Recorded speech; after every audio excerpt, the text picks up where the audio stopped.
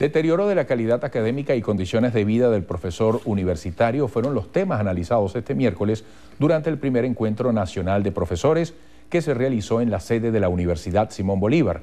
Víctor Márquez, presidente de la Asociación de Profesores de la Universidad Central de Venezuela, dijo que en 2001 un profesor con postgrado y doctorado ganaba el equivalente a 13 salarios mínimos.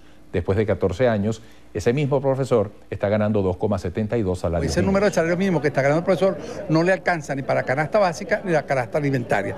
Razón por la cual está ocurriendo un fenómeno gravísimo en la Universidad Venezolana, que es que los profesores están renunciando a los cargos, no están ocupándose los cargos que han sido sacados a concurso porque la gente no quiere concursar por ese salario y lo que es más grave aún, que el recurso humano formado en el país se está yendo para el exterior.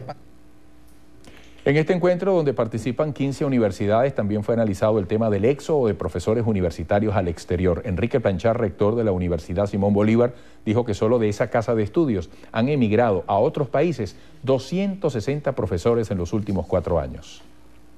El presidente de la Alianza Nacional de Usuarios y Consumidores, Roberto León Parilli, anunció que de acuerdo a un estudio realizado, seis de cada diez venezolanos hacen colas para comprar.